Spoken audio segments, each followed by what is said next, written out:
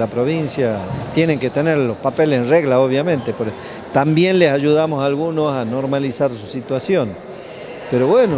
los clubes, la verdad, Gorriti como otros, estuve esta tarde también con la gente de Luján, que también está haciendo una gran tarea, bueno, muchos clubes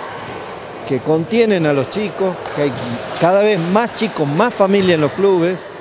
así que bueno, es la, la manera de apostar al deporte y decirle que no a las drogas. Eh, la lucha contra el narcotráfico, la incautación de, eh, en este año más de, de, 190 kilogramos de cocaína de alta pureza, el último golpe que dimos, 104 kilogramos y, y desarticulamos una banda de narcotraficantes, tiene que tener la otra punta con cómo luchar contra las adicciones. Por eso hemos instalado seis DIAT, que son los dispositivos de atención para las adicciones, pero también el deporte. Así que, bueno,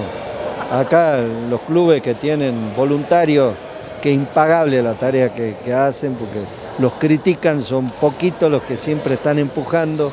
remando y remando para que el club esté de pie, así que